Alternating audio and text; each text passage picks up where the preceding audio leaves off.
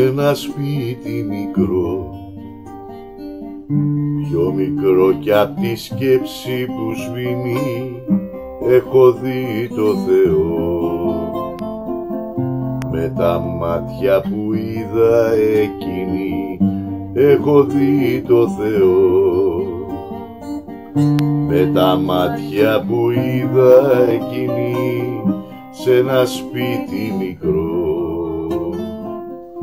πιο μικρό κι απ' τη σκέψη που σβήνει στη ψυχή στο επιτόπου δίχως συντροφιά ανθρώπου έχω γράψει σ' αγαπώ μια φορά και ένα καιρό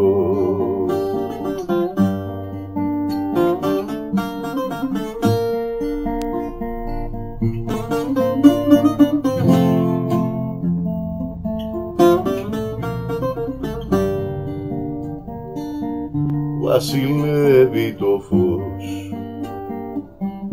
Και γεννιέται η σκιά μου στον τοίχο τώρα γίναμε δυο.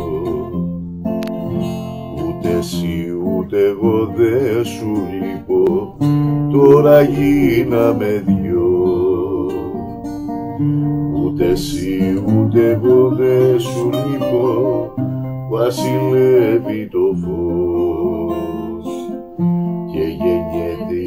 η σκιά μου στον τοίχο στη ψυχής στο επιτόπου δίχως συντροφιά ανθρώπου έχω γράψει σ' αγαπώ μια φορά και ένα καιρό στη ψυχής στο επιτόπου δίχως συντροφιά ανθρώπου έχω γράψει σ' αγαπώ μια φορά και να και